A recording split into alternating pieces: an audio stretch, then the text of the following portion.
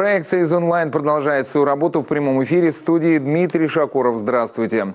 В Санкт-Петербурге готовится к чину великого освящения Крестовоздвиженский храм, или иначе Спас на Каменке.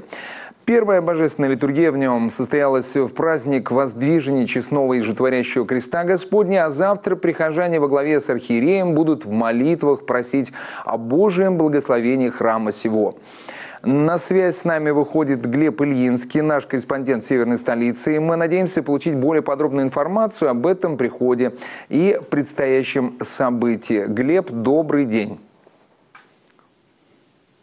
Да, добрый день, Дмитрий. Очень э, рад э, нашей возможности рассказать вам о таком действительно важном событии.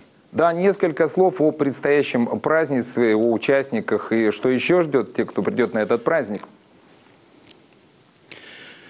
А, ну, действительно, всех, кто придет на этот праздник, ожидают, э, ну, просто действительно великое событие э, и э, чин освящения храма, и литургию возглавит наш, наш митрополит, митрополит Санкт-Петербургский, Ладожский и Варсонофий.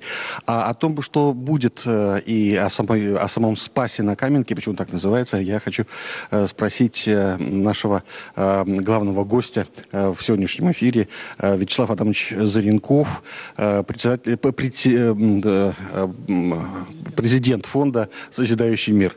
Э, здравствуйте, Вячеслав, Вячеслав Адамович.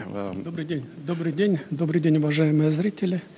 Действительно, сегодня такой праздник очень знаменательный.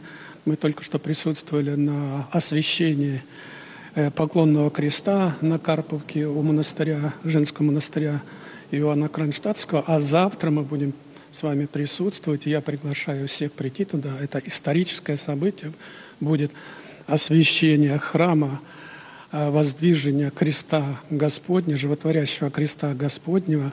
Этот храм построен э, довольно короткие сроки, где-то полтора, чуть побольше года, и он является, что тоже самое знаменательное, является чистым близнецом такого же храма, построенного на Кипре. На Кипре два года назад мы осветили и открыли храм в честь всех русских святых Андрея Первозванного. И по этому же проекту, по одинаковому проекту мы построили храм сегодня на Каменке. И завтра будет открытие. Так что приглашаю вас всех на открытие.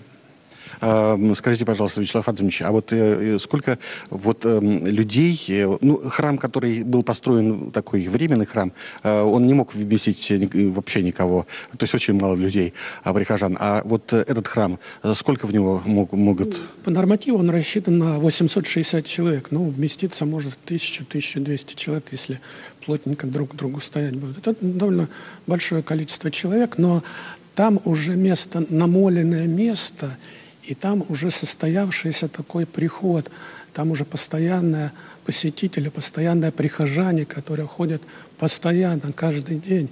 Ведь не просто так вот организовать приход. Э, это очень сложный такой процесс, и он организовывается длительное время. Вот там уже организован процесс.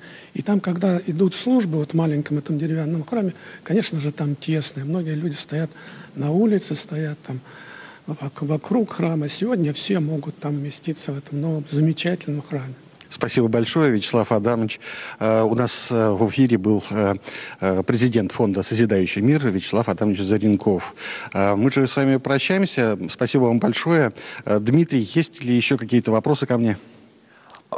Спасибо большое, Глеб. К сожалению, наше время в эфире истекает. Поклон северной столице. А, спасибо за информацию. Уважаемые зрители, а, благодарю вас за внимание. Это был Глеб Ильинский из э, северной столицы. Завтра в Санкт-Петербурге а, состоится чин великого освящения Крестово-Сдвиженского храма, или иначе еще этот храм называется Спас на Каменке. Спасибо за внимание. Всего доброго.